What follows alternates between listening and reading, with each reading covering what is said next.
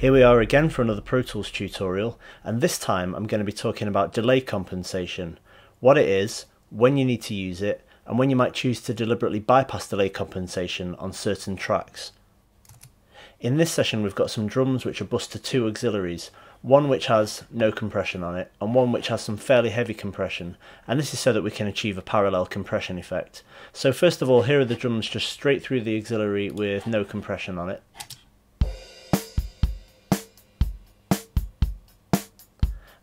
And then we've also got a secondary one, which as you can see has got a couple of plugins on it. This is deliberately excessively compressed, and it sounds like this. So that's got two things on it. It's got the Pro compressor, and then it's also got Maxim. And Maxim, because it's a look-ahead limiter, is a very delay-intensive plugin. So here's the thing, this is why we need delay compensation. If we run the drums again just through the uncompressed auxiliary, and then we might want to just introduce some of the very compressed version just to give a nice parallel compression effect. But here's the problem.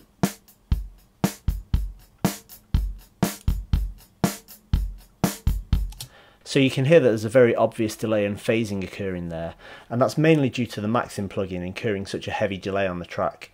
So what we need to do here is to enable delay compensation, and if we go to the options menu, you'll see that at the very bottom there's an option delay compensation, so once we select that, delay compensation will now be on. And if I run this, you'll hear a very clear difference.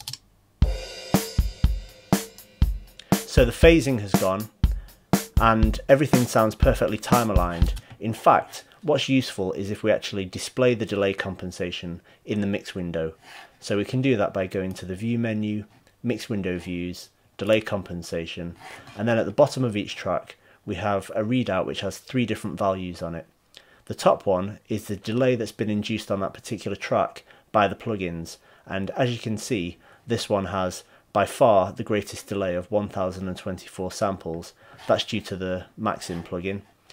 Below that we've got a user offset. So under certain circumstances a track can actually misreport its delay compensation, in which case you might need to manually type in a value, either positive or negative, into this user offset just to bring it into time alignment. In my experience, this very rarely actually happens, but it can on occasions, and occasionally with third party plugins. Um, finally, at the bottom of each track, we've got a compensation value, and this represents how much that track has been offset in order to bring it in time alignment with the other tracks in the session. So basically, whichever track has the heaviest delay is highlighted in orange, and then other tracks are offset accordingly. So let's just take a quick listen to what happens if we switch delay compensation off again and then I'll switch it on whilst it's running.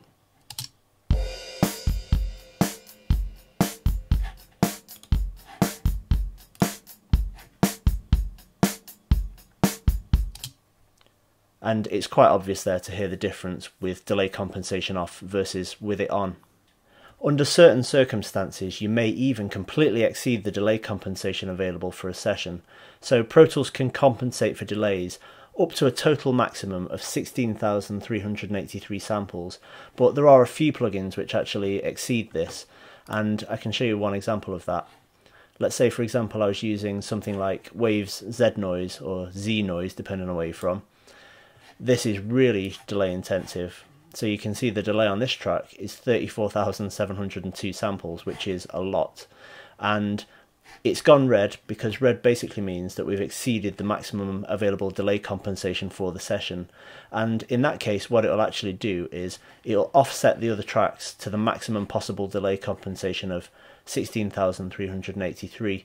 But that's not particularly useful because we've still gone over and tracks are still going to be out of time alignment because you know, this is so heavily over the delay compensation value. So there's a couple of solutions or ways that we can deal with that. One way, which is quite straightforward, would be to bust this track to another audio track, record it onto that track, completely bypass this one, and then manually offset the recorded result so that it was in perfect time alignment. And so we were no longer running this plugin in real time, but we'd basically printed the effect of it onto another track. Another possible solution would be to bypass delay reporting on this track and then manually offset it on the track itself. So I'm just going to demonstrate that now.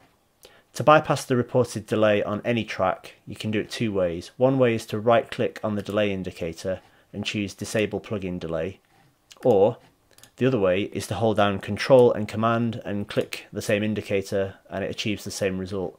So now you can see that all of the other tracks are no longer offset by that huge amount, they're purely compensating for the other plugins in the session. And what we'll now need to do on this track is to move the audio back by 34,702 samples. So I'll just go to the track, make it a little bit larger. Maybe I'll switch the session into samples and then make sure we've got the cursor on that track.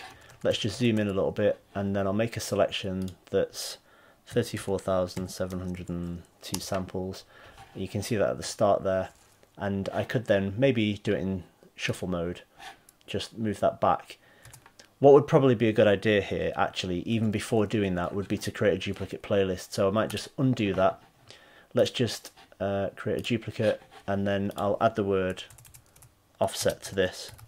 What this means is when I do delete that and offset it, if I decide later on that you know I want to revert back, I can just choose the other playlist and it's easy for me to switch back to the unaffected audio. So what I've basically done there is manually compensated for this delay, whilst the delay reading for that track is actually bypassed. Here's a couple of other points about delay compensation. I'm just going to create a new audio track and on this one once again I'm going to use the Maxim plugin just because it's uh, quite delay intensive.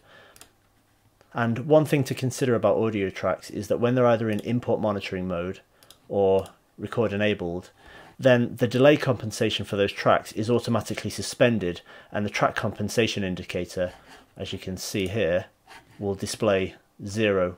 And the idea behind this is that when you're actually recording something or monitoring a live input, it minimizes the latency on that track which is fine most of the time. However, if you want to continuously apply delay compensation, so thereby bypassing automatic suspension, what you can do is control and command click again, but this time on the compensation indicator, and you'll see it turns blue.